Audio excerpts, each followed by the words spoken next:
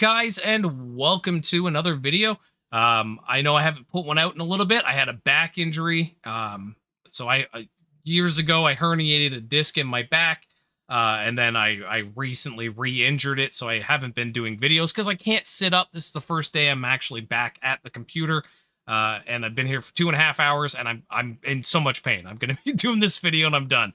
So anyways, the title of this video is Remove Reflect Damage. Now you can take that as two different meanings, um, and I'm sure a lot of people are getting pulled in here and they're going to be like, this was clickbait, uh, because they think this is going to be explaining how to remove uh, you getting affected by reflect damage.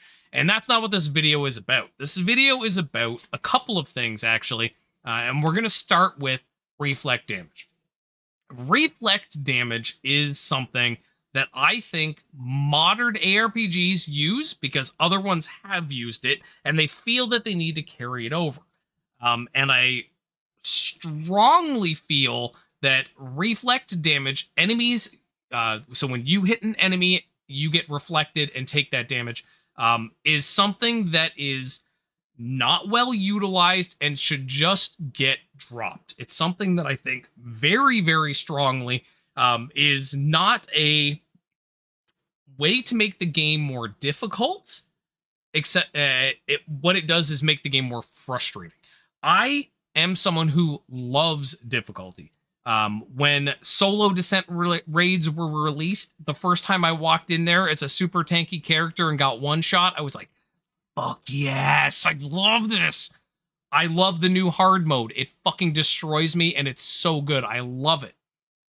Reflect damage doesn't make it difficult. It makes it impossible or you have to have specialized gear or change zodiac points and I don't feel like it is a mechanic that is should be carried on. It's I really really strongly feel like it shouldn't be carried on. Um, now, obviously, everybody's going to have different opinions, but I think on this topic, I don't think I'm going to get any pushback from anyone saying, well, no, it's an integral part to the game, and it's. I don't know anyone that doesn't just straight up hate reflect damage. It is a bad mechanic across the board. Now, character reflect, totally different story. I would love to work more closely with reflect damage and build a really good reflect build. There's some cool uniques in the game and stuff. But when it comes to adding reflect damage on chaos maps, it is not something that should continue. It's it's an antiquated thing that's been carried over and it should not be part of the game in my opinion. Um, now, again, I don't think I'm going to get anyone arguing, and I don't think it would be a huge task on the part of Undecember to have it removed. I think having it pulled from the list of possible modifiers on maps would not be something difficult. Um, it's something that I've talked about for a while, but now it's become more and more annoying as I play, and I really want the the people at Line Games uh, to to take this to heart. I would love to see it removed. Um, now, I am, I want to talk about something else in this same thing, uh, but I'm gonna put it in a separate section. Okay. Now, this is completely unrelated to the the the thumbnail and the the title of this video, but this is something that I really strongly feel is something that is a very antiquated thing and it doesn't add anything to the game other than annoyance. Much like Reflect, um, this is something that has been around forever and I'm going to talk about it and then and and I just we'll see. So, the thing that I feel is really antiquated and should just be dropped from the game entirely is identifying. It's something that had purpose way back. And as time has gone on, it has less and less purpose and doesn't add anything to the game. Okay. Now, I'm old as fuck. And I, one of the first video games I ever played was a game called Rogue. Um, you will hear today, as video game players, you will hear about rogue likes quite a bit. Now, the original Rogue was a ASCII art ASCII, I don't know how to fucking say it, whatever it is, um, art game way back. It was like 1984 or something like that. Um, I probably was playing it when I was like five or six, so I'm like in 85 to 87 or something like that would have been the, when I started playing this game. And it had some really cool mechanics in it. And one of the big things um, was hit points were, were introduced with that game. Uh, or health points, depending on because I got yelled at for calling them hit points. Uh, now, it had a cool mechanic in it in that any piece of gear you found, you could pick up and equip to your character. With the downside of once in a while, one of those items would be cursed. Uh, you didn't know it could be cursed unless you identified it. Okay. Um, so you could put it on a piece of gear and it would lower your strength, or it would make you uh, burn through food faster, or it would make you blind.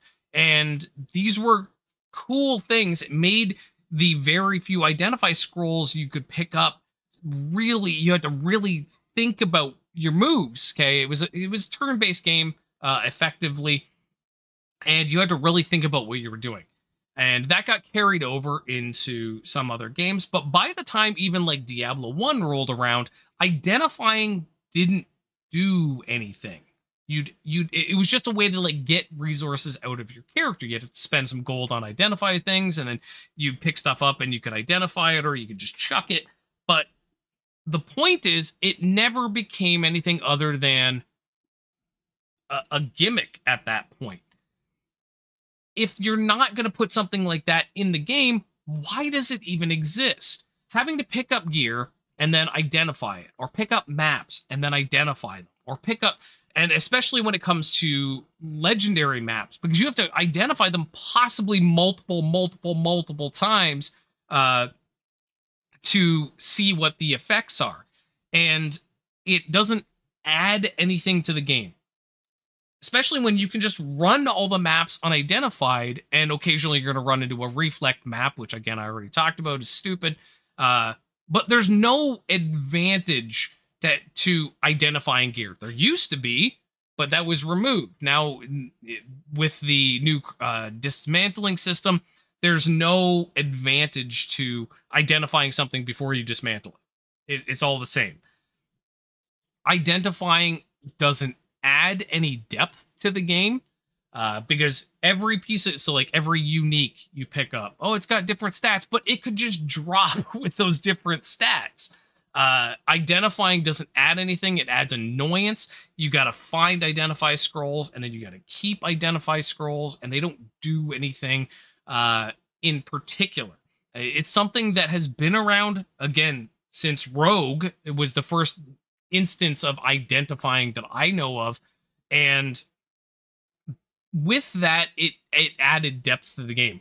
Currently, it doesn't. It doesn't do anything uh, that isn't tedious to me. It's having to keep ID scrolls and then move things. And when you start a new season, you don't have ID scrolls to identify stuff, and then you got some unique that you can't use because you can't identify it. And it's something that needs to go. It's and I don't know why I decided to do this video altogether. Uh, but there are things slowly that because of the history of games, there are things that keep getting pulled from other games, and they're like, well, we have. It's like uh, completely unrelated. Again, off topic. I just saw Alien Romulus. I'm not going to give any way any spoilers, but there are like rules to sequels. Okay, and you have to add this catchphrase or this moment or whatever this this image has to be carried over. And that's happened with video games over the years where they're adding things to games that they're that don't really have purposes because they just go well that game did it and we're like that game so we got to do that thing. Um identify scrolls portal scrolls these are things that are that should not be necessary anymore. There, there's absolutely no purpose.